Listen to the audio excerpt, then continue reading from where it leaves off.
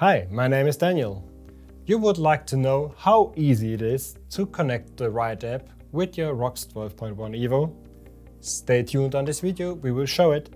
Now I will show you how simple it is to connect your Sigma Ride app with your ROX 12.1 Evo.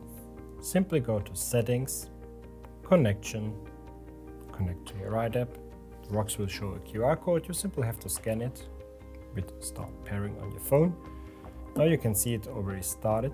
Hit the green button, push the pairing confirmation. Now you can see it's already success. Allow the smart notifications that you can receive it on your ROX 12.1 and then you can simply take a look at the short manual over here. There's a short description for your buttons. If you are done, hit the done button and then you can see it's already connected.